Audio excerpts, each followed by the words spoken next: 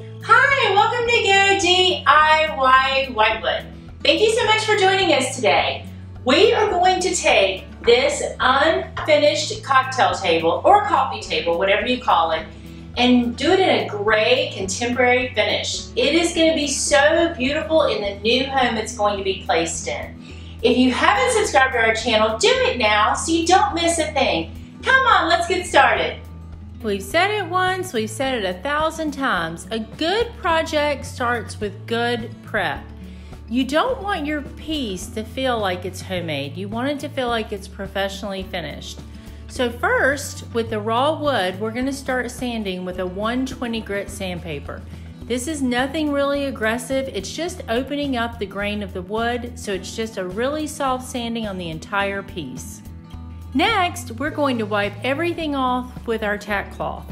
We are ready to break into our General Finishes Graystone stain. This is a beautiful stain. Now, what we love about staining furniture versus painting furniture is the stain actually is absorbed into the wood and you have a lot of control over the end result. If you want the wood grain to show through, you're going to do a thinner layer and you're going to kind of wipe it into the wood so that you can actually see the grain. If you want it to look more refined, more modern, then you want to put that on a little heavier and not wipe it off so you're not necessarily seeing a lot of the wood grain. Another thing you're going to note is we start from the top and work our way down. Now when you're using a water-based stain, to the touch it's going to dry in about 30 minutes to 60 minutes, but you do want to let it actually sit for 4 to 6 hours before you do any sanding. Once we do start sanding, we're just going to go over it with a 220 sandpaper very, very lightly. We are not trying to remove any of the stain. We're just prepping the wood for the final top coat. It's the same process again. Once you do that light sanding with the 220, you are going to remove any dust and debris with that tack cloth anything left on the furniture is going to remain there if you do the top coat over it.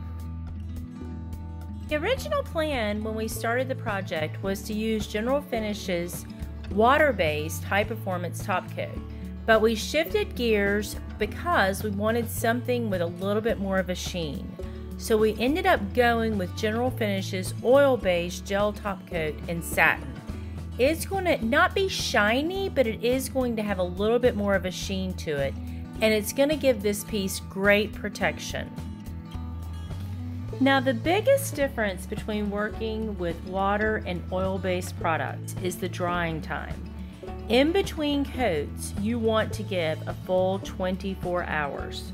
So we wanted to give this piece three coats. So it did extend our time. So we put this on again, making sure we're smoothing everything out, not leaving a lot of buildup along the edges. We waited for 24 hours, gave it a light sanding again with that 220 grit sandpaper, wiped it off with our tack cloth, came back and did that a second and third time the third time, once you put that oil-based top coat on, you just let it dry. Now, with the curing time of that oil-based product, for actual full curing, it's going to take up to 30 days. Now that doesn't mean you can't use the piece at all within that 30 days, but you do want to handle it a little bit more gently. You don't want to put a lot of heavy objects on your table.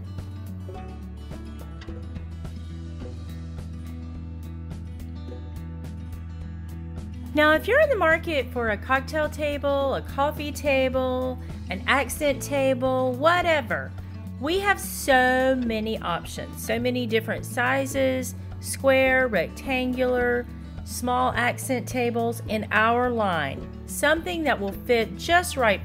And here we are all wrapped up. Another project complete. It has the three layers of top coat so it's protected for years and years to come. It's made of solid wood, it's not going anywhere, and it was just very easy to do and made us feel super duper accomplished.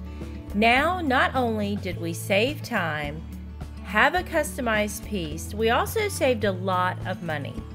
If you haven't subscribed to our channel, do it now and don't miss a thing. And thank you for spending this time with us. We'll see you next time.